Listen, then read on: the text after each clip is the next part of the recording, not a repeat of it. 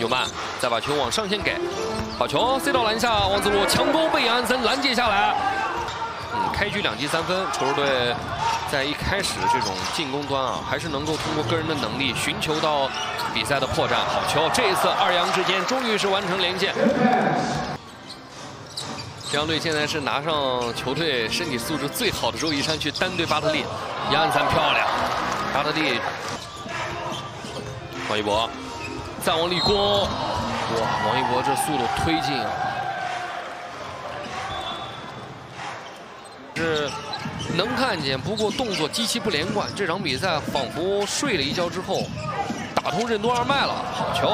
这边杨森同时也是啊，眼观六路，耳听八方。中距离再试啊，没有能够打成。段永军再分出来，意外吃的非常深，漂亮击中。啊，这是一个，差点把球打到巴特利这一点，低位要到位置，杨安森去吃于家豪，巨人之间的对抗，翻身的跳投漂亮，杨安森，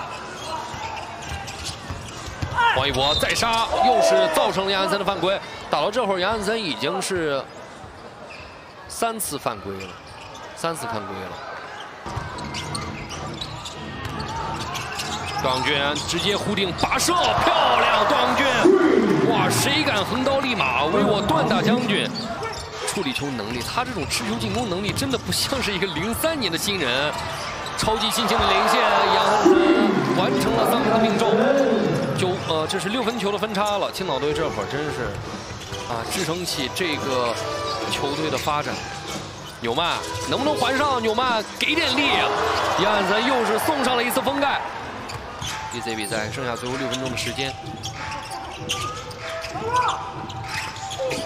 好球，杨森！杨森这就像仙人指路一样，这球啊！张海鹏再往里拖，嚯，这球还能传出来？佩里自己摔个踉跄，有犯规，裁判没吹，球保护下来。踹跑，呃，这种球其实二分之一球可吹可不吹的。段永军强行的转弯打中，这场比赛青岛队球员给人留下印象简直是深刻。杨森，和段永军。